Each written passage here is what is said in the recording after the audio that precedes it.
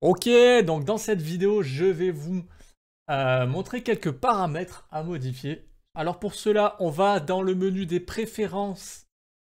Euh, alors hop, excusez-moi, normalement vous atterrissez comme ça.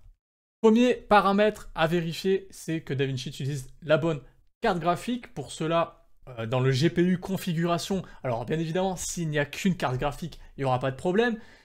S'il y a deux cartes graphiques ou plus, même si euh, cela m'étonnerait fortement, euh, vous vérifiez qu'il utilise la bonne carte graphique. Comment on peut savoir sans être un gros connaisseur de cartes graphiques?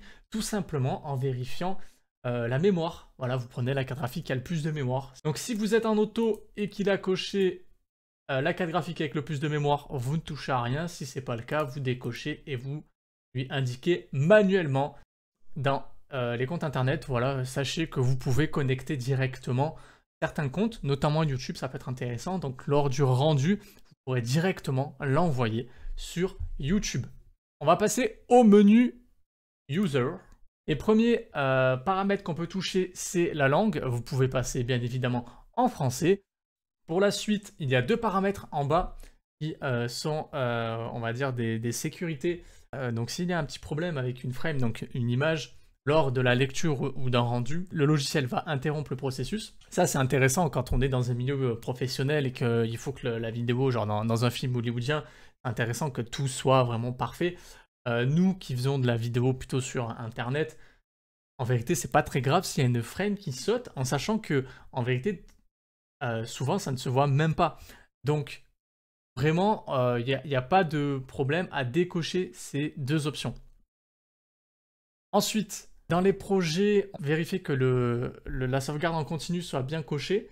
Euh, ça peut vous sauver euh, s'il y a un crash, même si DaVinci est relativement stable. Pour les paramètres suivants, on va aller dans les paramètres de lecture.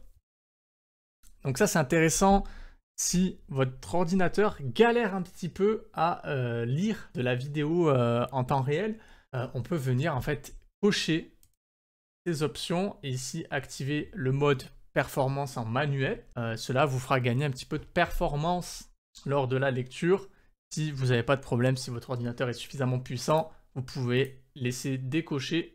Une fois qu'on a terminé, on va cliquer sur Save et, et les paramètres seront effectifs à la réouverture du logiciel. Voilà, on a fini. C'était tout pour les petits paramètres à vérifier.